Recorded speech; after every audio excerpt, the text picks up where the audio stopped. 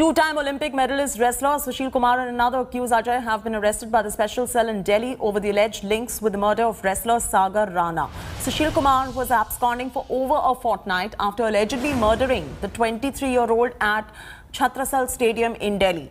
The incident stems back to 4th of May when wrestler Sagar uh, Rana with two of his friends were allegedly assaulted by Sushil Kumar and his close aides. While Sagar succumbed to his concussion injuries, others were undergoing treatment at a nearby hospital. The Delhi police filed an FIR against Kumar in the case on the charges of murder, culpable homicide, criminal intimidation, amongst others. Since then, Sushil was on the run, escaping arrest. He also had applied for anticipatory bail plea but was denied relief by the Delhi court. The court has said that the allegations against him are serious in nature.